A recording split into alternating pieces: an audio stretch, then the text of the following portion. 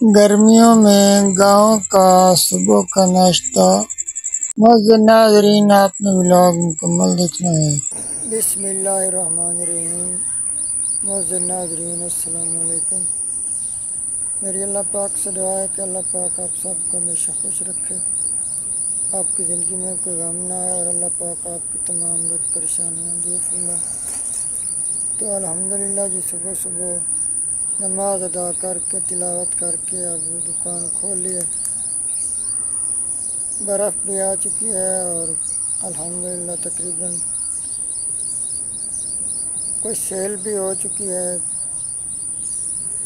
تو اب پورے دن کی جو بھی روٹین ہے وہ آپ سے شیئر کریں گے۔ آپ نے لوگ مکمل دیکھنا ہے اور لائک ضرور کرنا ہے۔ یہ جی برف۔ تقریباً ایک پٹی ابھی لی تھی، ابھی پھر دوپہر کو بھی ایک پٹی آنی ہے تو اس میں سے آدھی پٹی جو ہے وہ فروخت ہو چکی ہے۔ اور باقی جو آدھی ہے وہ ابھی پڑی ہے، میں آپ کو دکھاتا ہوں۔ یہ جی یہ آدھی پڑی ہے اور پھر دوپہر کو اور تازی بھی آئے گی۔ ایک پٹی تو یہ دیکھیں۔ یہ موزن ناظرین ایک بچہ جو ہے، یہ پنکھا اڑا کر کھے رہا ہے۔ یہ دیکھیں یہ کتنا اونچا اڑا کر۔ اور یہ دودھ گرم ہو رہا ہے، ناشتے کے لیے لسی بنی ہے۔ یہ دیکھیں جی پہلے میری امی جو ہے، وہ چینی ڈال رہی ہیں۔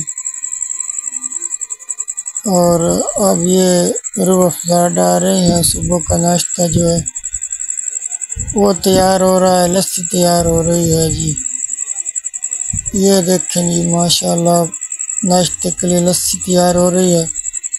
یہ آٹا گوندا جا رہا ہے اور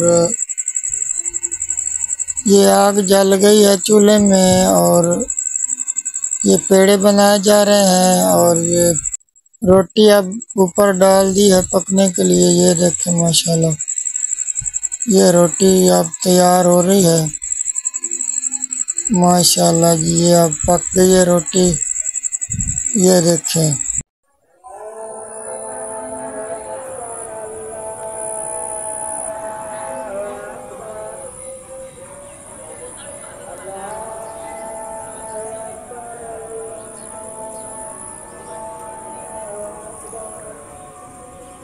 تو موزن ناظرین مغرب کی اذان ہو چکی ہے۔ تو اب نماز ادا کرتے ہیں۔ اللہ پاک آپ کو بھی نماز پنج گانا ادا کرنے کی تفیق فرمائے۔ اور اللہ پاک آپ کو تمام لوگ پریشانی سے محفوظ رکھے اور اللہ پاک آپ کو ہمیشہ خوش رکھے۔ کسی کا بھی محتاج نہ کرے کیونکہ موزن ناظرین محتاجی جی بہت بری چیز ہے۔ اللہ پاک کسی کو بھی کسی کا محتاج نہ کرے۔ والسلام، اللہ حافظ۔